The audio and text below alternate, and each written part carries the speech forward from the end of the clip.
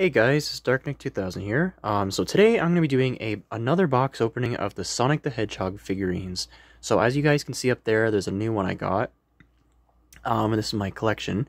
Um, guys, in the previous video, sorry if I didn't exactly open the box up like while I was showing it on camera. I kind of had to do off camera because it's kind of like, you know, kind of a easy way for me to not have to like record still while I'm uh, like holding my phone like this while I'm like, eh, trying to get it open, right? So, um, just trying to like get the box open.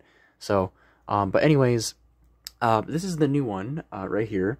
Uh, this is just my collection right here of like the Sonic characters, but right here on the back of the box, this is classic Supersonic. So, um, when I open it, I will be right, or, yeah, what am I saying?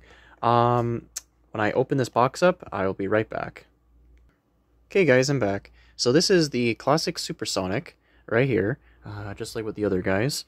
Um, he looks pretty cool. You got the back of him. So this is kind of like his super form when he gets the Chaos Emeralds. So yeah, if you guys enjoyed this video, uh, be sure to smash the like. Oh, uh, be sure to smash the like button and subscribe to see more good content like gaming and unboxing videos and other stuff like that. Maybe reaction videos. So I was kind of thinking about doing a stream, like I was saying in the previous videos, as well as doing uh, maybe a FNAF um, 8th anniversary video where I'm just playing all the games for fun in a stream, because uh, I think the birthday passed by for the games. So yeah. Anyways, guys, if you guys enjoyed the video, smash the like button, subscribe, and I'll see you guys in the next video. Bye.